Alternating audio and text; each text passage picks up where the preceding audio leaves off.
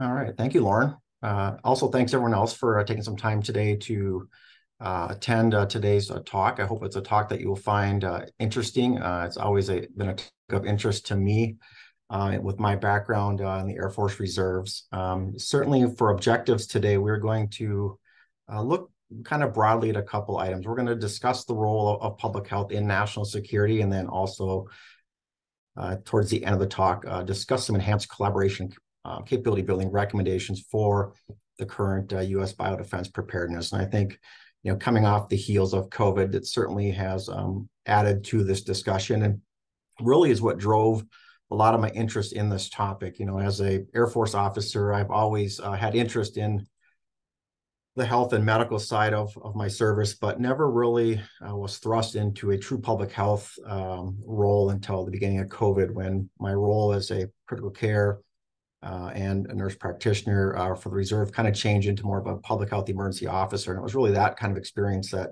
drove me into um, getting my MPH and then certainly um, kind of furthered my interest in this particular topic. So I do have a couple of disclaimers for today. Uh, first, uh, the views within this presentation are those of my own.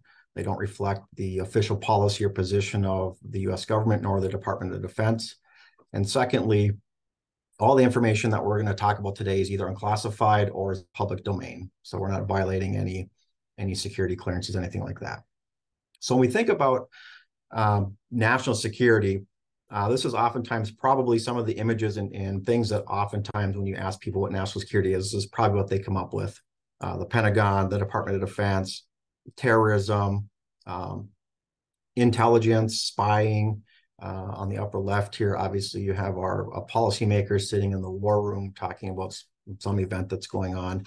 Uh, but what most people don't often have an appreciation for, um, and maybe certainly a little bit more appreciation for now, was what's the role of public health in particular as we look at national security. And it's an interesting topic in that when you talk national security within the circles of either scholars from um, political science um, and just um, kind of national security in general, there's always been a little discourse of like, does public health or um, health related issues really rise to the same level as as national security, which is predominantly oftentimes seen as military power and projection globally in, in uh, pursuit of our national interest. And so, as we look at national security, uh, one of the first things we kind of need to define are some definitions up front to kind of um, set the stage for the conversation today. And part of that is what is actually a national security threat? Um, mean, how does that relate to national security? Um, so, as we look at threats, we first have to, again, make a big distinction here between what is truly national security, uh, which really, again, is the ability of a nation to protect its own national interests from external threats. So putting the needs of one state over another, essentially, uh, in that regard. Um, contrast that with, with what's oftentimes called global health security. And, and these terms will get used intertwined, which they're actually quite a bit different between the two.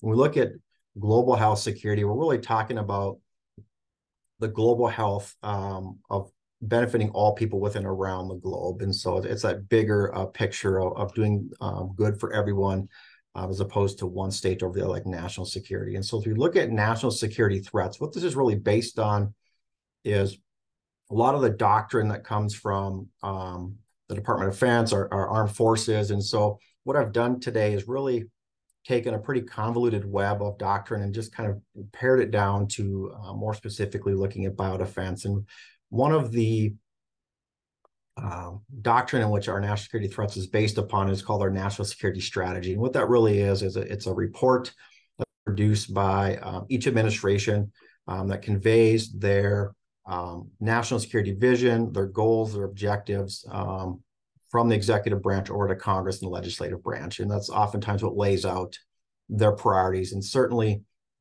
with most of these, there is a component of bio uh, defense and um, the um, protection against uh, bio threats.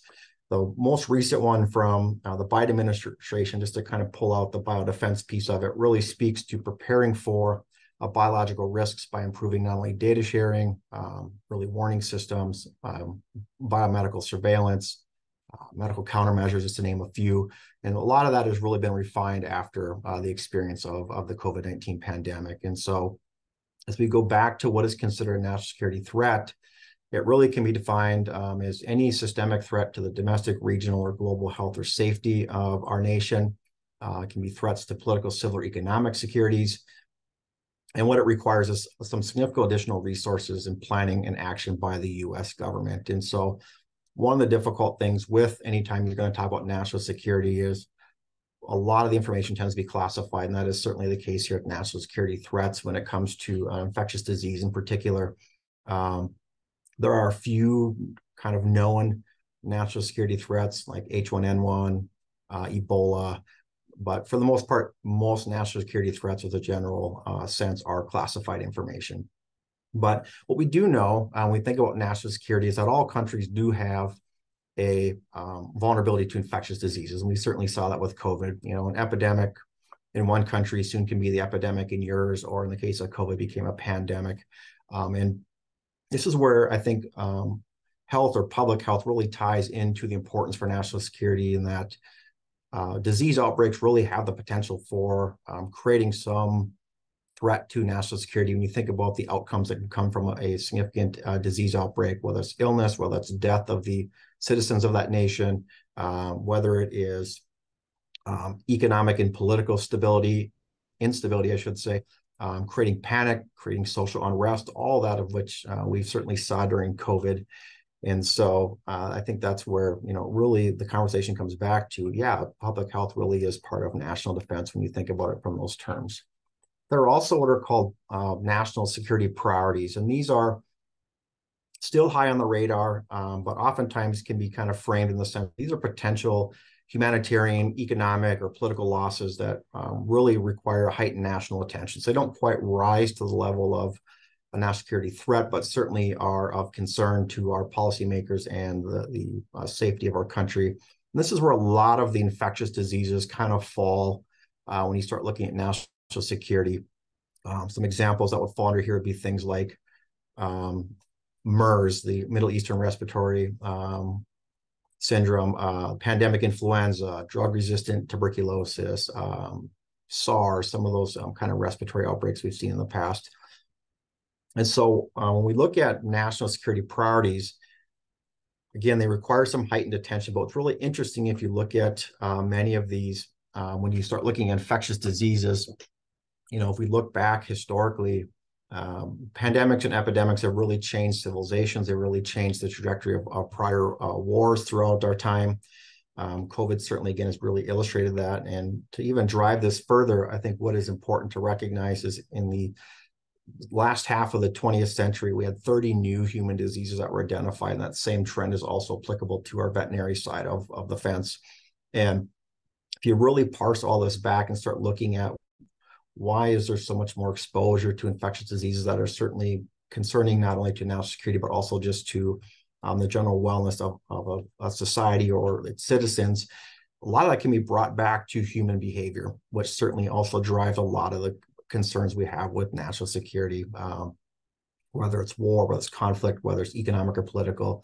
Uh, most things that uh, create national security concerns are driven by human behavior. And so if you look at that from an infectious disease standpoint, you know, there are many things out there that, whether they raise the level of national security priorities, um, they certainly raise to the level of, of humans having more exposure to diseases in which they may not have uh, significant immunity or the, the ability to um, defend themselves against. So we look at behaviors like, you know, political instability and war in countries. Uh, we look at the globalization of our food market. Uh, we look at, you know, unfortunately, this movement towards vaccine hesitancy, uh, creating some vulnerabilities in populations.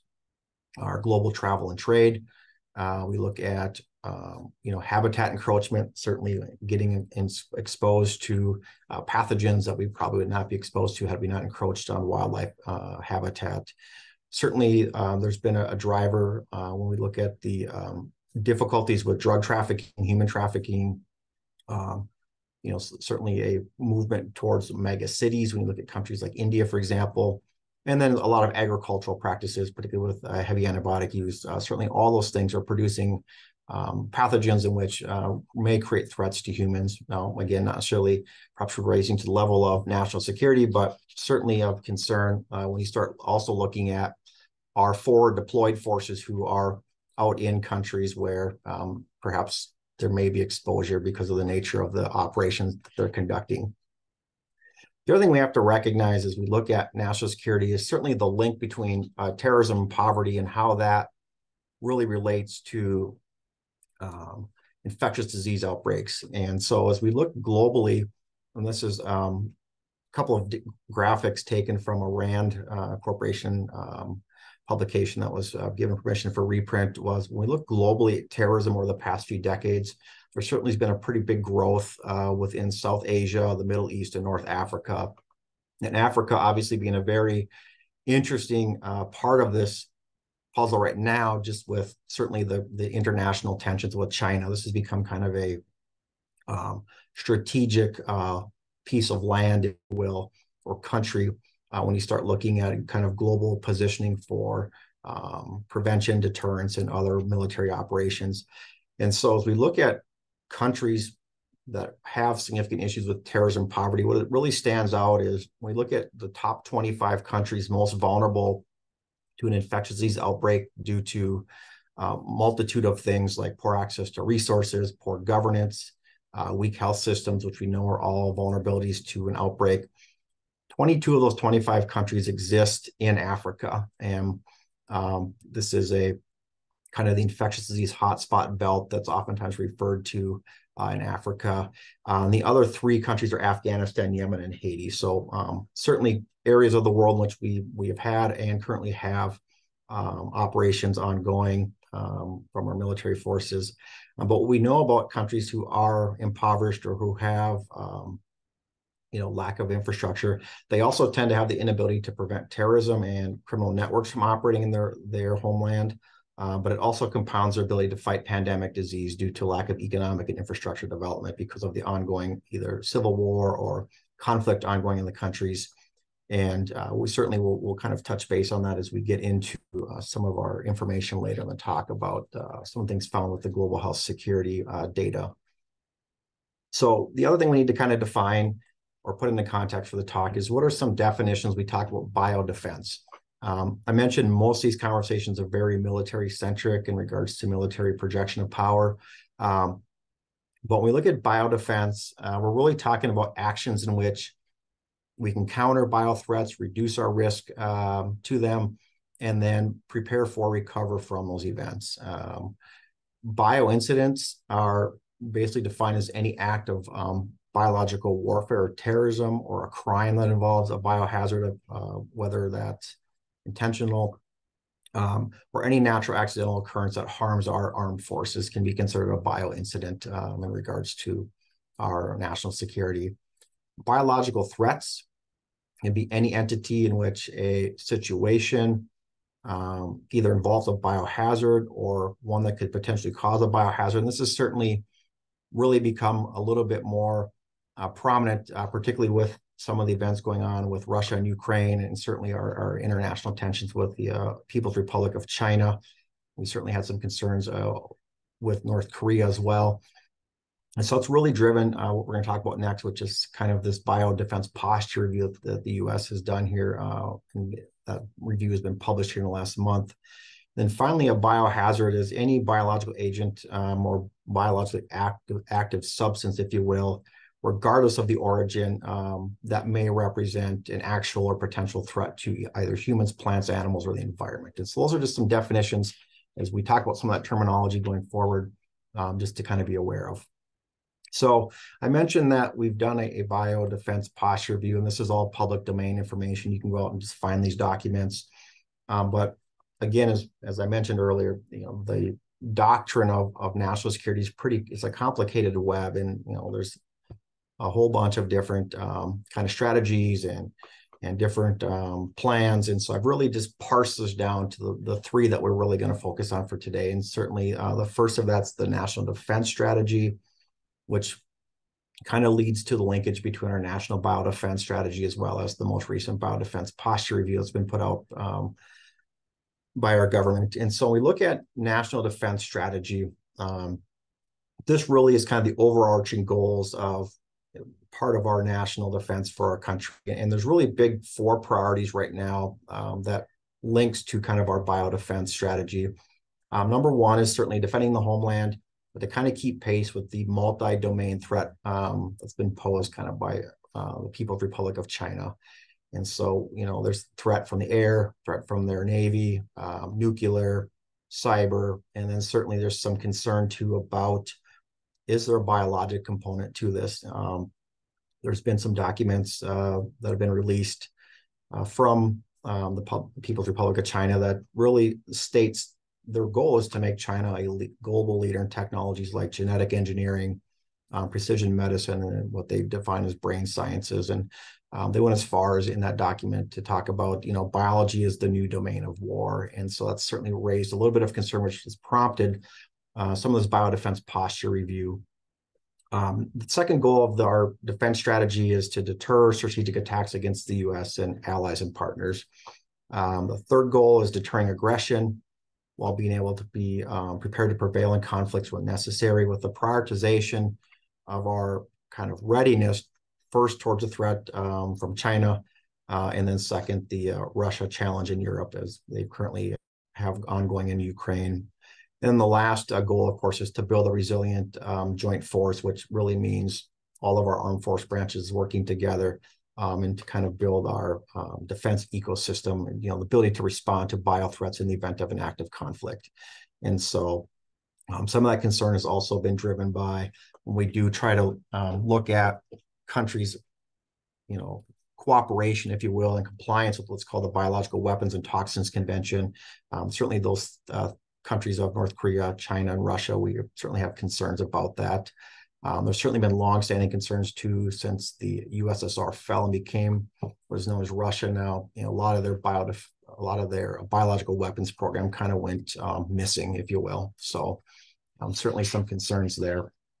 So, we'll move on now and talk a little about the National Defense Strategy, which uh, really defines the Department of Defense's role for um, deterrence of a bioweapon and deliberate attack uh, from bioweapons, uh, which is really, again, they're the lead agency for this, but um, it also uh, outlines some of their goals in regards to a biodefense.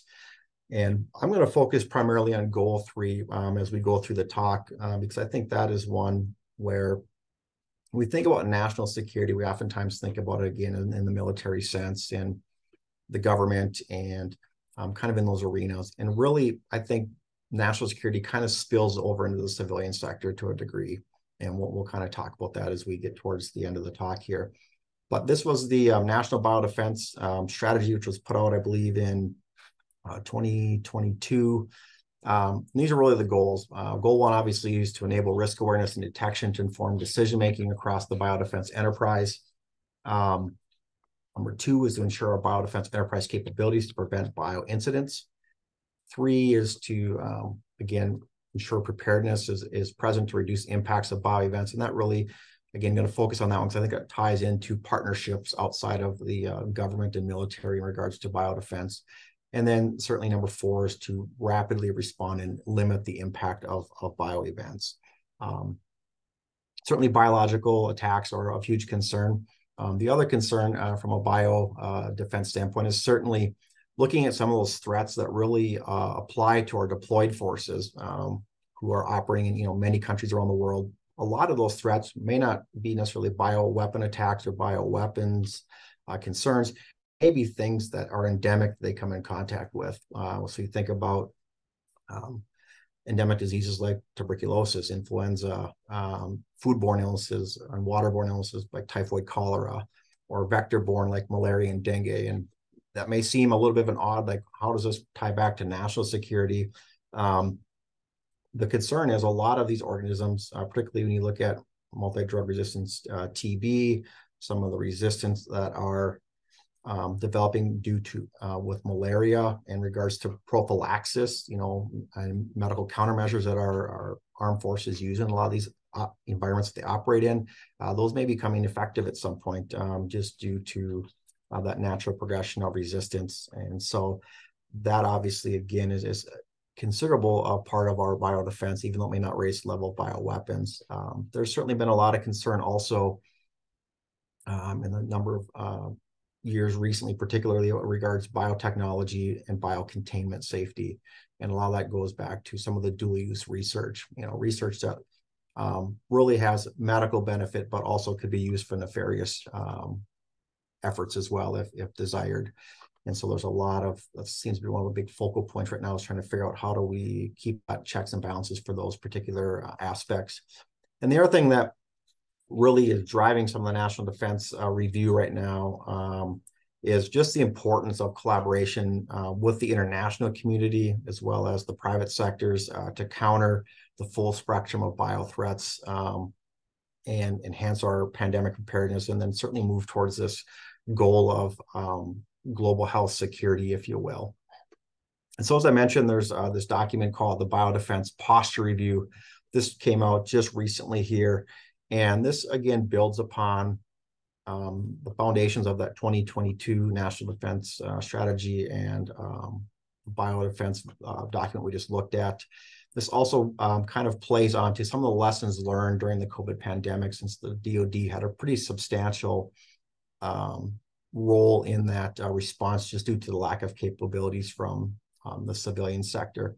And so to kind of summarize the defense posture, this is really some of the big aims uh, of the review. Number one, certainly was to reform the DoD's current posture for future bio threats. Obviously, our um, focus from the Department of Defense, we've moved away from the global war on terror directly anyway in the Middle East to now the big focus, certainly you know um, China kind of Pacific region uh, with what's going on uh, with China, North Korea, Russia. Uh, we also want to ensure that our biodefense currently kind of links with our national defense strategy uh, goals, as we talked earlier. Um, they're really looking at trying to assess what's the bio threat landscape now through 2035. Uh, with COVID kind of being a um, interesting response for DoD. You know, I've been in the military for 19 years now and uh, as a reservist and i cannot recall any time in my career where we have actually supplemented the civilian healthcare sector like we did in new york um, so kind of that defense support of civil authorities kind of mission so some of the things that have come out of covid also is the dod kind of taking a look at what is our biodefense mission which historically has been you know the lead role in deterrence and response to bioweapons um, but also what is our role for supporting other agencies, um, the civilian sector, things like that. And then obviously, um, that's a big part of this is developing those collaborative um, relationships for entities outside of the DoD, uh, whether that be civilian or other uh, governmental agencies. So as we look at um, biodefense, the other thing we can't for, lose focus of, um, because it does kind of tie back to infectious diseases, certainly some of the fallout from COVID. And this is from uh, February 2022, uh, again, public domain information uh, from the Office of the Director of National Intelligence. This is their annual threat assessment they put out from the intelligence uh, community that's uh, basically unclassified public information. These are some of the other, uh, obviously, issues that come with an infectious disease outbreak, or in this case, a pandemic known as COVID-19. Just some of the other fallouts. And so if you think back to what we talked about with the linkage between terrorism, poverty, and the inability to fight infectious diseases. Um, there certainly is a lot of other tangibles here that will create potentially humanitarian economic crises for countries around the globe that obviously can influence our national security uh, depending on uh, the region and what's going on. So we know that there's probably going to be some significant continued governmental strains, um, which will fuel humanitarian economic issues, political unrest, and geopolitical uh, distress. And, you know, we've certainly have seen that over time. COVID certainly has magnified that. Um, one of the other concerns of some of these um, countries with lower levels of resources is what is the challenge to governments to try to maintain or gain back the human development they had to that point, um, and how much of their prior uh, poverty levels are going to be exacerbated by um, the fallout from COVID. Uh, again, we talked a little bit about political instability. And then the other thing that's really uh, driven some concern globally, besides the COVID pandemic, um, there's just a lot of conflict around the world, as well as concern for climate change, which has certainly driven a lot of food insecurity, which, as we know, um, those um, kind of crises also tend to drive political and economic instability, which then drives often more conflict and, and concerns for national security. And uh, this is interest. This is a very sad uh, statistic that um, you know food security has doubled from 135 million in 2019 to 270 million in 2020, and that was again uh, one of our threat reports from um, our intel community. And so this again is, I think, part of our biothreat environment of like what is what is the tangible spin-offs of some of these uh, outbreaks when they do occur. Because COVID really illustrated um, the limitations um, significantly when you look at our local, state, national, international biodefense and or pandemic preparedness capabilities. Um, and again, the DoD got significantly involved with this due to um, the lack of insufficient capability um, in you know the civilian sector. And so the DoD has really back and said, maybe we need to reevaluate um, what our response is and, and, need to think more of instead of it just being so DoD centric, do we need to bring in other government agencies and departments and work more collaboratively, more collaboratively with them, um, so that we can balance, if you will, the support that we're given um, these other sectors, but also being able to maintain our primary mission set, which is obviously military power production globally through either you know peacekeeping missions contingencies operations and then obviously you know trying to keep pace with um, some near peer competitors. Um, when we talk about near peer competitor what, what, we're talking about is um, a country what has very similar economic political and most importantly military capabilities which certainly um, russia and china uh, kind of fit that that mold. And so um, when we talk about near peers that certainly is a a new environment that uh, creates some new dynamics from the standpoint of national defense and even more complex if you in, introduce a bio threat to that. And so we're going to kind of talk a little bit now about just public health in general in regards to more of how does it relate to national security. And so if we look at public health, you know, as we look at the undertones and the, the advantages that come with having a really good public health system, versus some of the risks that come with having a lack of uh, infrastructure and good support for public health. These are really some considerations as you look at how public health may influence um, national security. Obviously, we know that lack of health and general well-being and and such can create threats to political and social stability. Um, we know that it certainly can affect economics. Uh, when you think about military operations, and we certainly saw this during COVID, that it can weaken or diminish your military power. You know, we had entire Navy um, ship that was was ill with COVID and basically was taken out of out of commission. It certainly impacted our ability to um, travel. Um, it certainly impacted our ability to send recruits and troops to training. Um, certainly, you know, when you think about diseases, they don't know borders. There is no, you know, passport for a disease. I mean, it doesn't. It can cross transnational borders. Um, it certainly is something that we cannot control um, oftentimes through the usual measures. When we think about national security, um, we also know that certainly human rights abuses and um, such come with with poor infrastructure and, and in some of these uh, countries that lack um, good governance and, and, and lack access to healthcare. So a lot of things to consider with public health. And I think what sums this up very well is a quote from President Obama from 2016 uh, when he really drove the initiative of what we're going to talk about next, the global health security agenda. He said, promoting global health security is a core tenet of our national strategy for countering biologic threats. Uh, no single nation can be prepared if others remain unprepared to counter biological threats. And I think that really, to me, speaks to the importance of uh, public health is recognized as a tenet of national uh, security. Uh, we certainly have can think of many examples uh, during the COVID pandemic where this is certainly true as well, and how vulnerabilities elsewhere uh, become your vulnerability tomorrow, or your threat tomorrow, I should say. so we're going to kind of transition to talking a little bit more about this global health security agenda and this global health security index, which is a um, assessment tool, because as I mentioned early in the talk, a lot of um, information as we talk about um, national security is classified. And so this was really kind of a nice surrogate to kind of give us a sense of looking at um, our current kind of preparedness posture a little bit outside of the the DoD and something that's a little bit more tangible probably to the civilian sector, um, which certainly has a significant influence on many of the things we're going to talk about. So In uh, 2014, uh, President Obama during his administration started working on the Global Health Security Agenda, which was finally then signed by executive order in 2016.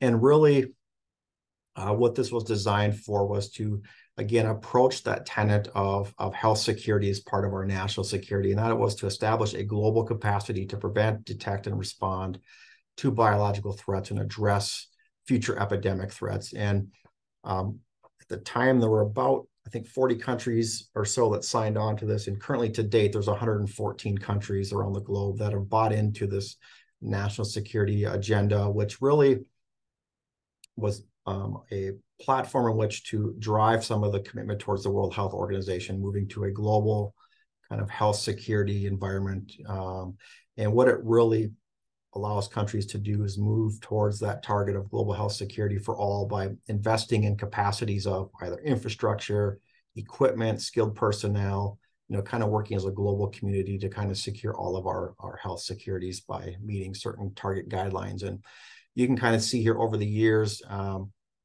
we're certainly moving that direction. 2020, we had uh, 56 countries of those 114 have met uh, what they define as target goals, and we'll, we'll kind of get into that next. Um, and then we have 20 close to the target, and the rest certainly are not not reaching that target. And so, um, again, it's an ongoing um, kind of continuous improvement process. And uh, we certainly got a glimpse into how well we are doing with some of these preparedness activities because we certainly lived through that with with the COVID pandemic, and that certainly unmasked a lot of vulnerabilities that we maybe didn't realize we had or magnified uh, those that were already pre-existing. And so how do we measure that uh, or how do we get a sense of that since most of our DoD national security stuff is classified? Uh, what I had done was kind of look through what's called the Global Health Security Index. And this is a kind of comprehensive assessment tool that was put together by a, a group or number of groups, I should say, as kind of a, a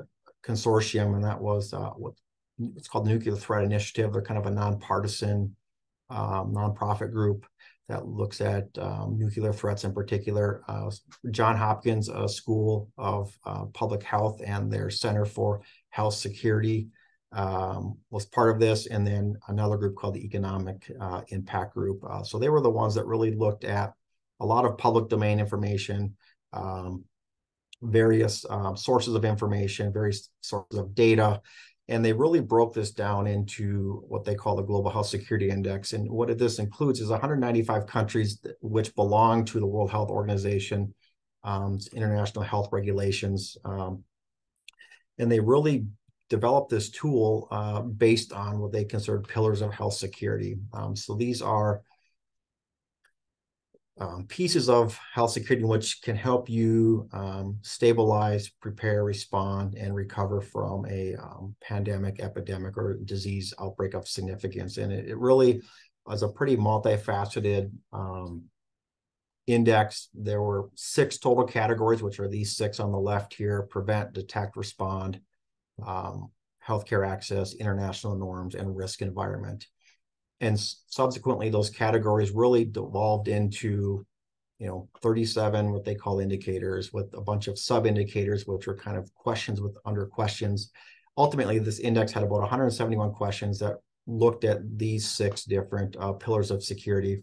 And so what this allows someone to do is again kind of uses a surrogate tool but allows you to kind of analyze your own nation's you know global health security and its related capabilities. Um, you can measure in capacity to prevent, detect, and respond to a disease outbreak. You can use it to assess your health system preparedness for outbreaks uh, while considering other socioeconomic, political variables that may create, um, you know, global health security uh, vulnerabilities within your nation.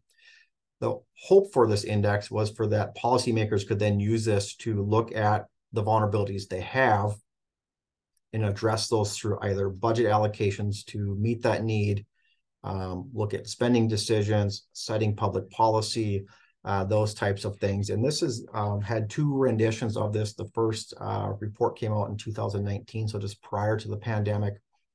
And then the second report uh, or analysis was done in 2021. So we'll, we're ways into the pandemic and, you know, gave people an opportunity to make some adjustments, if you will, to um, what was going on at the COVID pandemic at that point, since it was very obvious by then what a lot of the vulnerabilities were for many countries. So what I did is kind of just parse some of this out for discussion purposes today.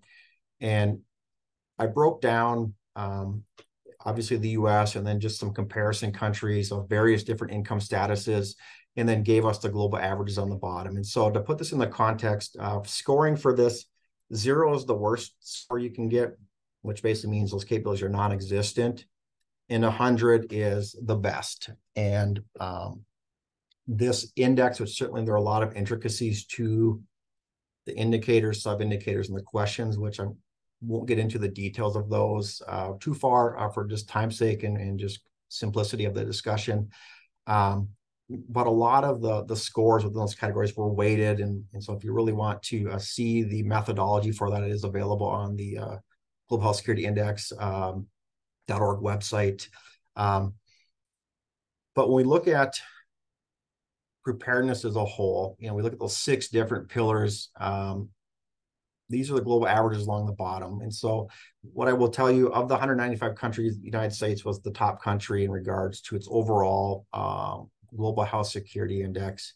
And what I hope to do in the next number of slides, though, is to take a little deeper dive into that um, to kind of illustrate some of the vulnerabilities we do have, in particular to relation to what's oftentimes called the paper plan syndrome. When you look at preparedness, um, countries develop plans, they put them on paper, they look great.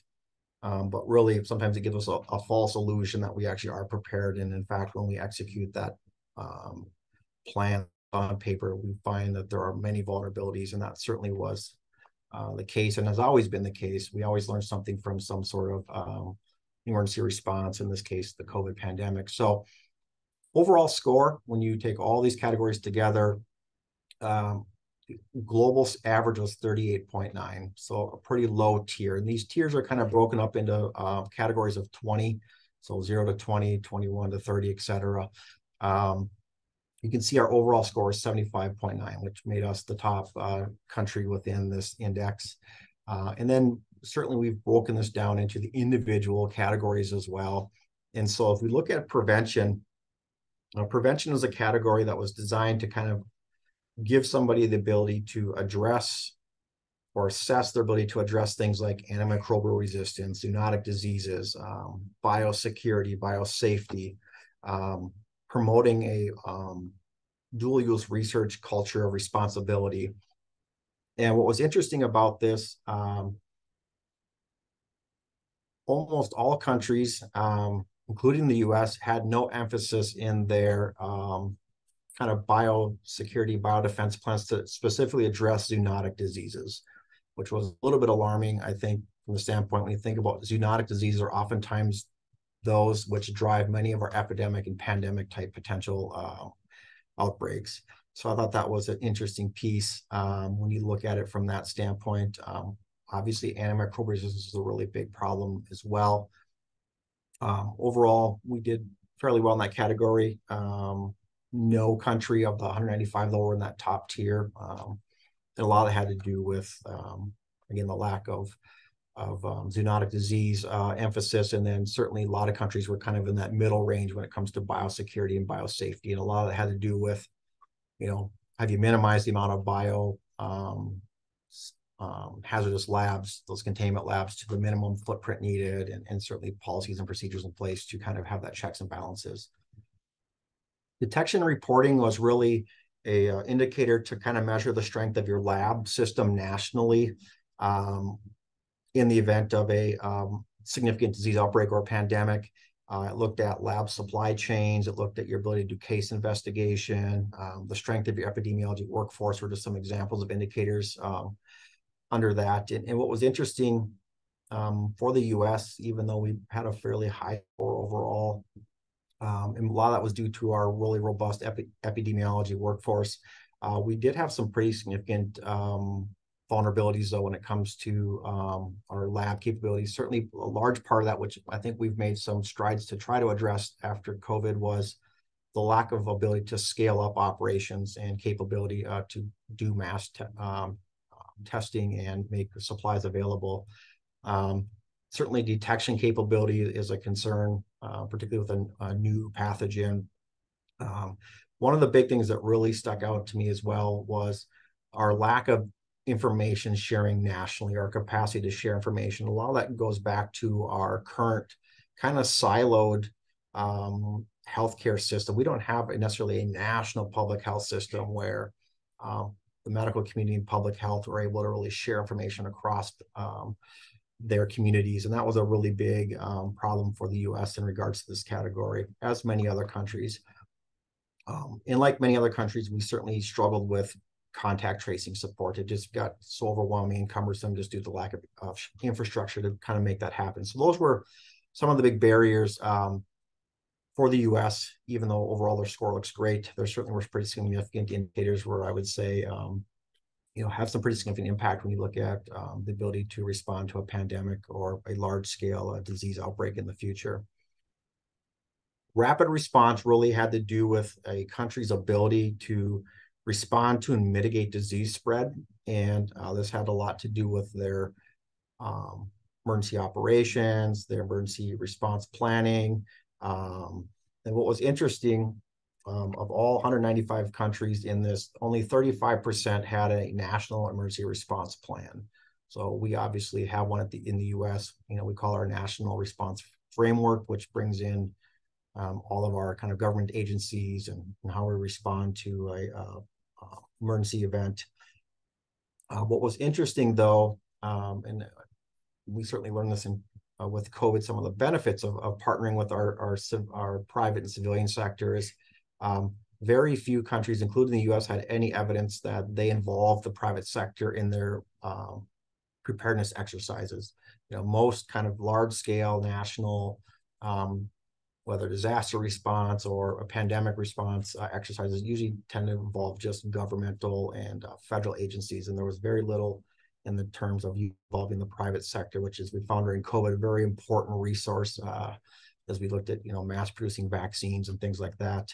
Um, under rapid response also falls the role of what's called risk communication. So our ability to um, provide messaging to the nation or to your citizens of your nation in regards to risk and concerns during a um, disease outbreak, emergency event, whatever the case may be. And um, the U.S. had a plan, uh, as many countries did, uh, but was pretty poorly executed uh, when you evaluate it. In fact, that was one of our uh, lowest scores in this category, as we uh, received a zero for one of the sub indicators, which was um, was there evidence of misinformation being delivered by senior leaders, in this case, i.e., your president or your minister of health? Um, and I think certainly if we think back to the politics of our nation at that time, we certainly can see the um, negative influence of, of divisive politics or misinformation. Uh, and so that becomes really important when you think about national security in the terms of social unrest and um, just panic in general, or in regards to public health, people's willingness to comply with um, with measures, and that has to do with messaging. You know, we have a tendency on all facets of our nation, whether it's in academia, public health, um, scholarly circles, um, with during events like COVID, our messaging tends to go from here's an event, and we go to apocalyptic messaging and and kind of this kind of um, really um, dark messaging, and that creates a lot of panic and unrest in um, in emergency events. And so, oftentimes, the problems are not so much the harm from the pathogen; it's the harm from the human behavior that results of the messaging. That was certainly a thing that was really illustrated uh, over and over uh, in, in a lot of uh, kind of after action reports um, after COVID. What I did pull together um, just for conversation pieces um, was kind of a scatter plot here. Uh, we I pulled together the um, countries from the index as well as the COVID-19 mortality per 100,000. And so uh, it's basically is a way to kind of look at a correlation of one variable against another. In this case, looking at their global health security index score. Um, so what you traditionally would see um, is, you know, one variable affecting another. So you may say, well, gosh, how does um, a country who there tends to be this focal point here in this lower quadrant of low global health security index. So, you know, a really, um, you know, underperforming or lack of, of resources in those categories. how does the countries have all of these low scores but yet not have a huge mortality in COVID-19 since you know we know that infrastructure and the ability to respond is they're kind of related. Um, this really illustrates the point of what happens when you have the lack of infrastructure, um, you have the inability to um, surveil, detect, and report disease. And that's what you're seeing here is many countries lack those capabilities. That's why their score is low and their mortality looks low on paper, but in reality is probably much higher just from the simple fact of they couldn't report and detect the disease uh, in their country. Um, and so that obviously opens up some concerns for um, you know, our, our, overall global environment and community as far as safety uh, goes related to infectious diseases. The next couple of slides are, are just some kind of areas I parsed out from um, this index again, and I really want to illustrate just some things that on the surface may seem like it's great, but in reality, there are some significant vulnerabilities that exist in the U.S. in particular. Uh, so that's the one I'm mainly focusing on is our U.S. defense posture. Um, when you look at the U.S., and you look specifically at their healthcare system score, healthcare access, our overall score was a 75.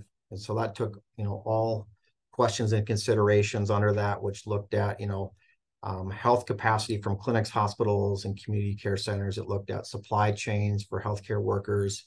It looked at medical countermeasures and, um, you know, dispensing of those. It looked at access to healthcare. It looked at infection control practices, and it looked at the capacity to, you know, kind of abruptly approve uh, medical countermeasures as they're needed. And so, um, as you look at this, um, the global average for the healthcare system is a 55. Um, we scored a 33.5. Um, so this is by far probably one of our more significant um, concerns um, when you start looking at um, our healthcare system, because on paper you'd say, well, gosh, you know, if you just look at it from the superficial values, 75 is good. But if you parse this down into some of the sub indicators, um, our access to healthcare um, is certainly pretty poor compared to other countries. You know, when you look at um, the kind of constitutional right to medical care, i.e., a universal healthcare system, is usually what they're getting at here. So you can see the global average is 55, and we scored a 33. So we're in one of the lower tiers for that. And I think that just speaks to some of the difficulties with our healthcare system and the way our current healthcare delivery model works in the US. Um, we certainly got the big zero for constitutional right to medical care. Um, when we look at out-of-pocket expense, we scored a 52. Um, so if you look at kind of the high-income countries, uh, we were 55 of 59 in that category as far as out-of-pocket expense. So again, if you have access to care, oftentimes it's very expensive uh, for people. Um, we also underperformed as we look at healthcare in our ability to um, stockpile lab supplies to, again, support that national response. Um, we lacked a lot of plans initially in regards to domestic manufacturing, so relying on the civilian sector to help us with things like PPE and other supplies. And then we really had, you know, compared to a lot of countries globally, we didn't even really have a plan on how to bring foreign workers into um, the U.S. as well for support. Um, then the other last interesting that we do um, not so great on is, is guaranteed uh, paid medical leave. Many countries, um, as you can see, global average is 93, so pretty high. Many countries who um, not only have universal health care also have the ability to pay workers to stay home because they're ill. Um, we got a 50 out of 100 just because, yeah, we allow people to go home on medical leave, but they don't get paid. And so that becomes kind of interesting when you think about compliance with public health measures during a pandemic event like COVID. Uh, when you think about, you know, people's ability to quarantine, isolate at home versus their other priorities of, you know, trying to pay bills, take care of their family um, without some medical leave pay, that certainly makes those much more difficult. We certainly saw that uh, during COVID, some of willingness to stay home when ill, um, just due to uh, competing needs in regards to economics for people. So risk environments, um, one of another category that we looked at. Um, again, I pull this one out. The U.S. overall scored a 73. If you look at just the overall category, and generally the perception is the U.S. is a fairly safe democratic country to live in. Um, but if you really parse that down further, um, because what this category really assesses for is your overall vulnerability to a biologic threat. Um, and it takes into consideration geopolitical, socioeconomic, and security risks that uh, are present. It also considers your infrastructure, your environmental environmental risks, and public health vulnerabilities. And so, if you parse this down even further, though, again, looking at global average of 58 in these subcategories, um, we weren't much above that in regards to political security risk, um, which looks at um, things like, um, you know, risk of terrorism, things like that. Um, our government effectiveness, again, kind of 66, so not a, a great. But what was interesting uh, when you look at this even further, um, one of the biggest things that was detrimental to us for government effectiveness was public trust in the government or public confidence in government information. And what they have found when you look at um, risk in a, a, in a country as far as national security, the public confidence was actually more important than your your emergency plans, operations, and response itself, uh, which I thought was quite interesting. Um, so those are just a kind of a couple of things to, to kind of parse out there. Uh, we certainly struggle a lot with um, some of our illicit activities, non-state actors. A lot of this goes back to um, a lot of the drug and gun uh, trafficking that goes across our borders, what uh, is a lower score for us in that category. So certainly um, really illustrates the point that we, even though as a very um, robust nation, do have some vulnerabilities in that regard. And then finally, we'll kind of just briefly tie up here at the end. I know I'm running a little long uh, with recommendations uh, that have kind of come out of uh, this particular uh, review, at least in my opinion. Because um, regardless, when you look at the Global Health Security Index, there's not a single country right now that's prepared completely for future pandemics. We all have vulnerabilities. Um, but we also face in the US in particular competing political priorities, which makes oftentimes the recognition of public health as a kind of tenet of national security is there are things oftentimes that are seen more pressing by policymakers and certainly that is uh, something that's also conflicting when we start looking at trying to give recommendations for how do we do better next time. Uh, recommendation one certainly is investing in better warning systems and health intelligence. Um, you know our warning and our ability to predict and respond is often very reactive yet when we start looking at uh, reporting systems and um, and certainly there's been a big push. There's some really good information and articles uh, put out from Nevada. There's a physician, Dr. Uh, Jim Wilson, who used to be, he was the first operations chief, I believe, for the Department of Health and Human Services. And he uh, has a civilian sector now, health intelligence um, um, company. And they really worked with the uh, state of Nevada and they did quite well with uh, warning systems and prediction and planning uh, everybody did poorly with COVID, but they certainly were able to kind of um, at least alleviate some of that in the front. And their big thing was early warning. And certainly that's part of President Biden's um, push right now is to get better at um, detection earlier and not being so reactive. Number two is kind of looking at the realignment of our pandemic preparedness response. Um, two things really stick out here. There's really significance when we look at fiscal neglect, uh, what's very common in after action reports we look at large events like a pandemic. Um, there's this kind of panic and, and neglect cycle that happens. Um, we have an event, we, there's a lot of interest, there's a lot of money, there's a lot of um, political uh, push for it. And then as that event fades, um, we kind of go back to our old ways and it kind of gets forgotten about till the next pandemic happens. Um, we also found that a lot of our response structure was not very operational, at least how it was executed anyway during COVID. Um, you know, CDC is oftentimes seen as one of the large um, players in um, disease outbreaks, but what they do, what we found that they lacked during uh, COVID was they didn't have large scale response capability. Uh, they also did not have pre approved national funding. Uh, the one other pitfall for us as the US is like we don't have this kind of existing pre um, designed uh, or designated, excuse me, uh, national funding. Uh, we rely on Stafford Act, like we saw during COVID, which then brings in that those FEMA dollars, and um, that certainly was problematic too when you look at our response structure. And that um, at one point during the response, the administration moved FEMA into the lead role, and FEMA is really good at disasters and emergency events, but they did not have any public health operational experience. And so you had a couple of our big uh, preparedness response players in kind of non-traditional roles, and that certainly created some some issue. Um, we also saw issues with the national security stockpile um, on paper, looked great, but um, certainly uh, did not work as as illustrated um, in regards to lack of supplies and the ability to to logistically move them. And so, really, you know, looking at building uh, public health preparedness like a military focus. You know, flexibility, logistics, and continuous readiness. I think is really key there. Um, we look at establishing and strengthening private uh, public partnerships. Um, again, not a lot of involvement in the private sector for um, uh, exercises, but certainly we saw a lot of promise when you think about Operation Warp Speed um, in regards to developing vaccines, developing medical countermeasures. Um, I think there's a, a, big push here where we can um, improve our relationships with the private sector to deal with some of those supply chain issues and deal with um, vaccine and, and you know hopefully more research for antibiotics, things like that that are going to be needed in future um, pandemic events or infectious disease outbreaks. Uh, the last three here, um, certainly we need to look at rebuilding our public health infrastructure, uh, particularly informatics side of it. Uh, there's no question uh, COVID really um, unroofed a lot of pre-existing public health deficiencies, and a lot of that's just due to, again, prioritization by um, policymakers and these continued budget cuts that have been occurring over the last number of decades.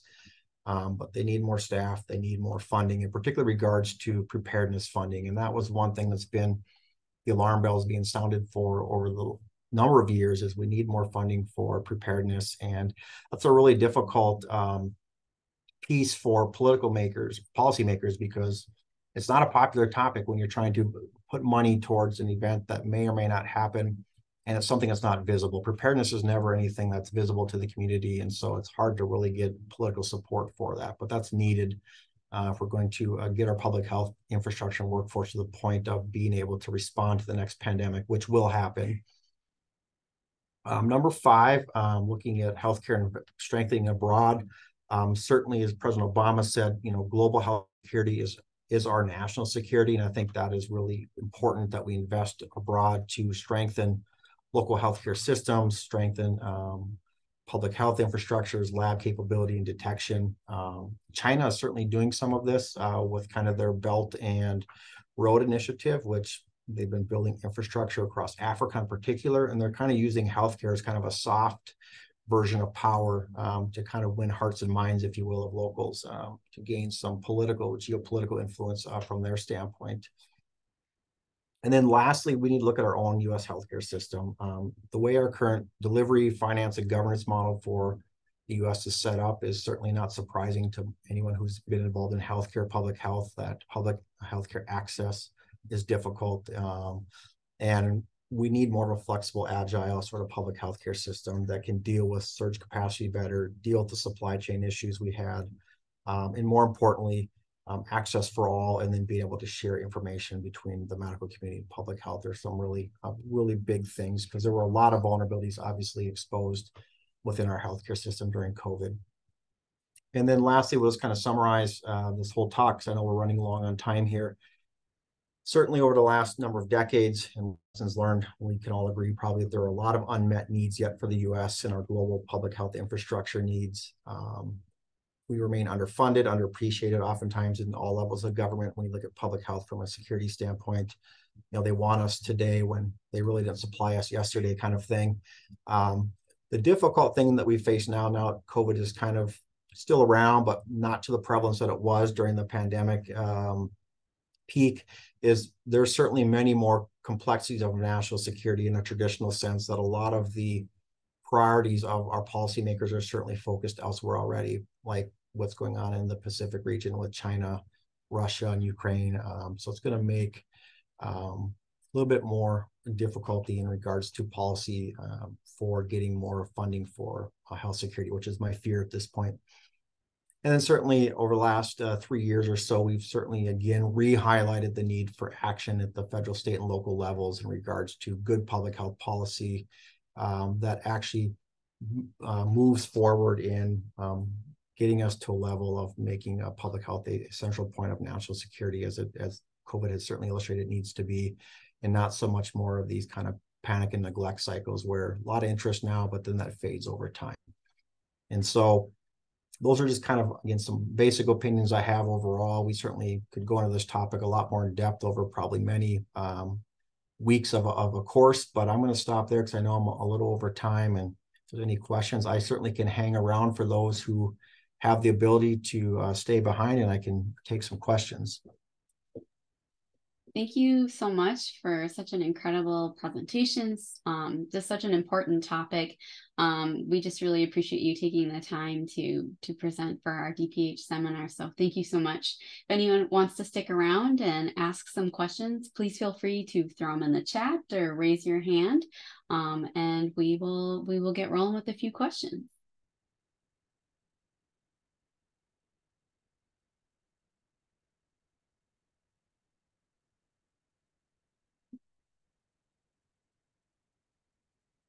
I guess I have a question. Um, I, I listening to your presentation and, and my background is is you know working for a center that focuses a lot on immunization education. But I wonder too, what how does the this impact to when you think about public trust. Um, I think about, you know, with vaccine hesitancy and how that impacts um, like uptake. Um, so is there any plans or, or things going in place to address misinformation and how that might impact um, the outcome of some of these particular measures and, and, and how you can roll them out to the public too?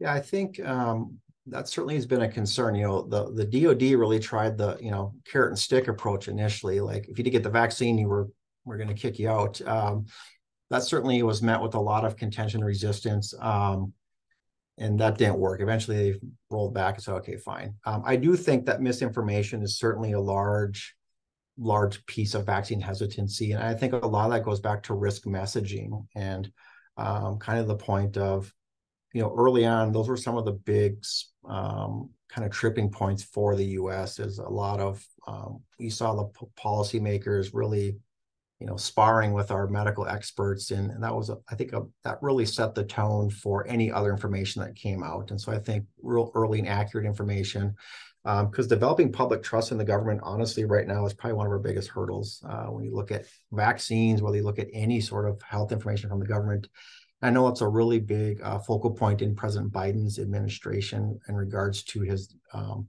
his biodefense uh, policy plan was to address some of that um, misinformation. Um, I don't have specifics for how that's being done, but I know it's a really important talking point now that people are looking at and trying to make sure our risk communication is done well because that really sets the tone for um, you know whether it's vaccines or you know, whether it's, you know, whatever is next that's needed for medical countermeasures. There's going to be a lot of skepticism. And um, so I don't know the specifics, but I know it's definitely something that's on the radar of, of people involved in that. Thank you. Are there any further questions? Well, thank you so much. This was such a great presentation. And thank you everyone today for joining us. Um, we will be posting a recording of this session on um, the College for Health and Human Science um, YouTube page. Um, so I hope you all have a fantastic day and um, thank you so much.